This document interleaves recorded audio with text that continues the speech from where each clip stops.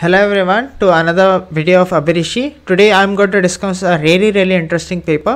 This paper was published a month and a half back and it's called the Camels project and it's about um, cosmological simulations or astrophysical simulations but uh, trying to use uh, like machine learning algorithmic approach to get uh, better data sets.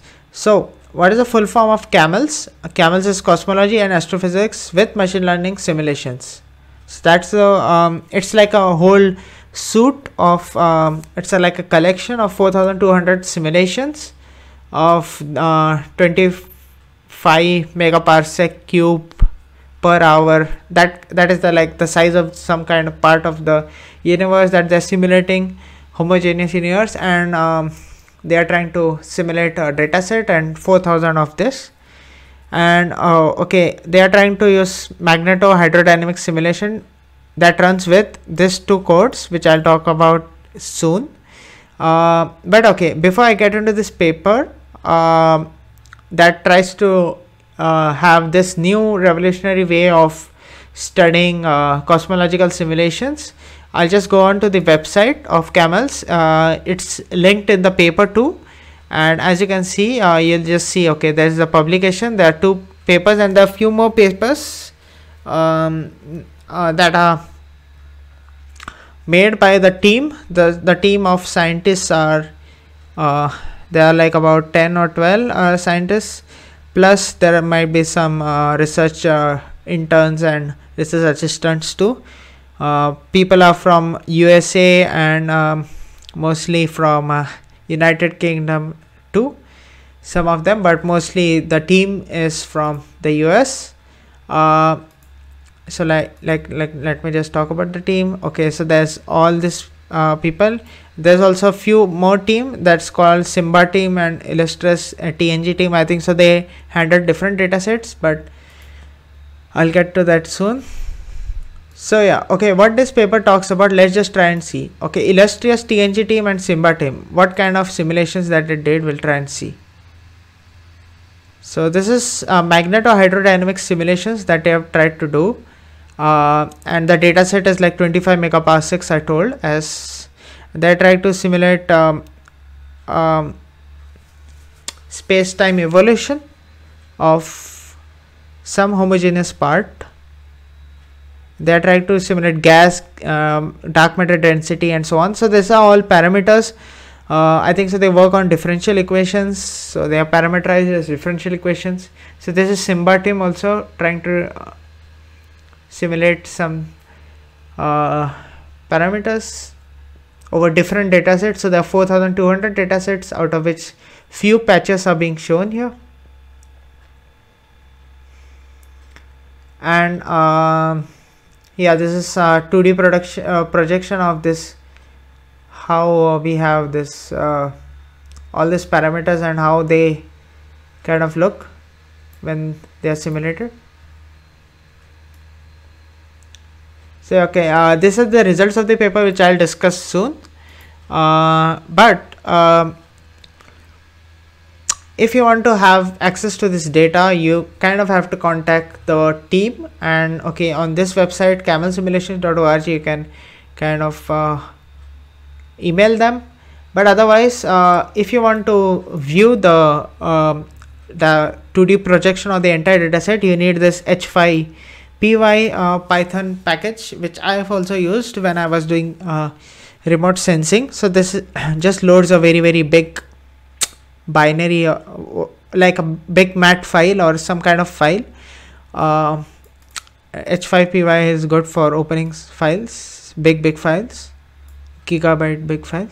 Okay and then uh, i'll just talk about this one team that is smaug which is simulated multiscale astrophysics to understand galaxy. So this is a fire project that uh, through which they understand baryonic processes in galaxy formation. So this is a problem that they are trying to work on and there's a paper that they did on this which I'll show in a while. But yeah this is a team that is based in Flatiron Institute in the US and in Europe.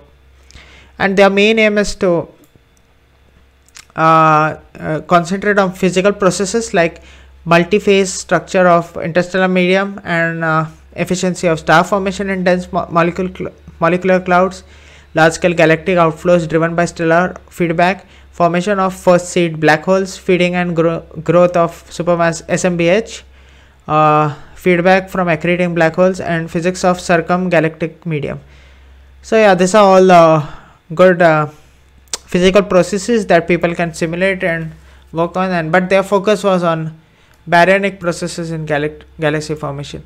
So yeah, that's that. You can just see all the governmental websites where they kind of have posted their uh, data sets and uh, cross collaborated so yeah just going forward with the paper um, so this the main go goal of the camels project is to provide theory prediction uh, for a given observable or field as a function of cosmology and astrophysics. So so yeah, the focus is on s which is a power spectrum and the power spectrum is a function of three values which is uh, the redshift z. So which part of the sky you're looking at and what is the redshift of that? What, are, um, what is it like 3.5 to 10 or i don't know what the range ranges are. But yeah there can be any range. Then there is theta c and theta a which is the cosmological and astrophysical parameters. They can be anything. This is just a general equation. So uh, so I'll just not talk about all the entire parameters but okay they did the gas density simulation dark matter simulation and so on. But um, this is what they took. Z is 127 which is the redshift then they have uh, 256 cube dark matter particles that they took and 256 power 3 gas resolution particles and so on.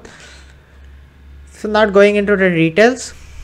And that uh, this different models that it took Simba model, uh, Illustris TNG model and so on and how they fine tuned each model. Uh, before I go to anything else, I'll just try and uh, see what this link talks about. It talks about a Gizmo algorithm that is used in this paper. Uh, so Gizmo is a flexible massive parallel multi-physics simulation code.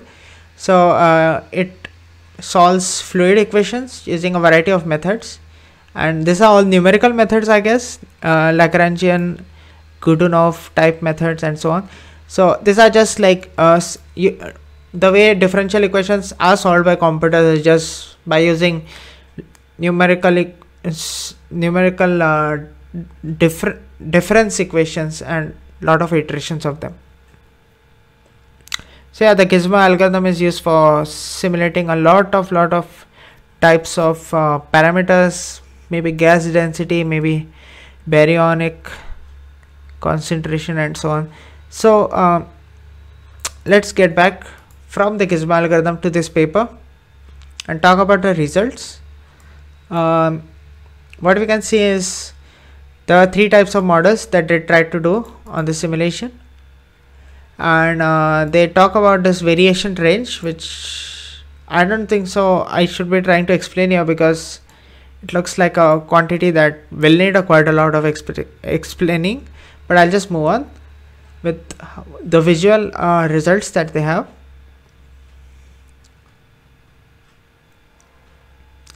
They plotted some of the power spectrum that they had here. And this is the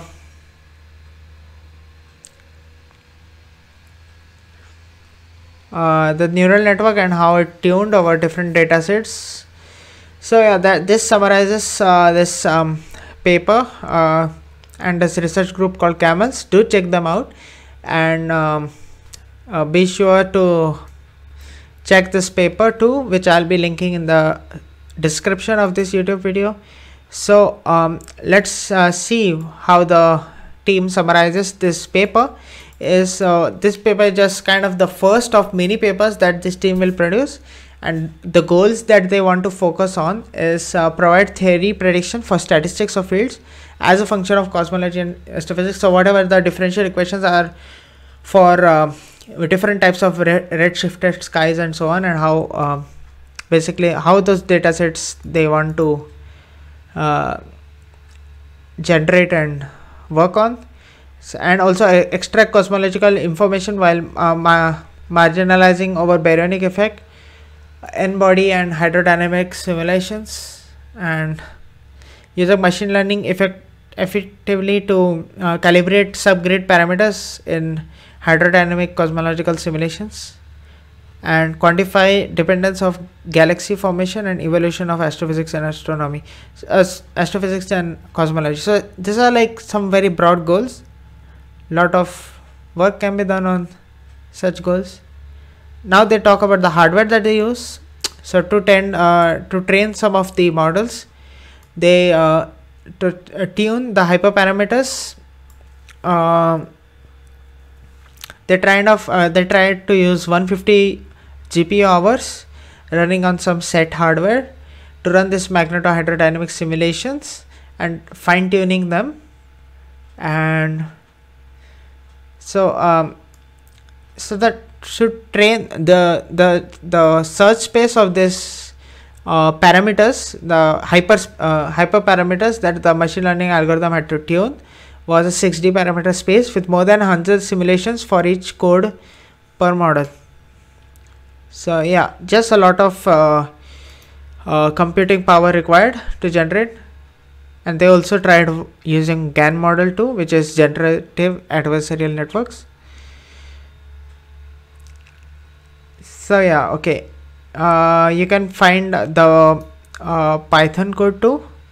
Uh, and the uh, and the github where they open source it. Some of the bit. So as you can see here is the github and it talks about this library which is Pylians which is used for analysis of numerical simulations. So this uh, okay uh, this is all this important uh, astrophysical goals which is first is to compute density fields compute power spectra compute uh, bispectra make 21 centimeter maps um, and so on. So this library is built on this base libraries numpy scipy h5py and a few other libraries.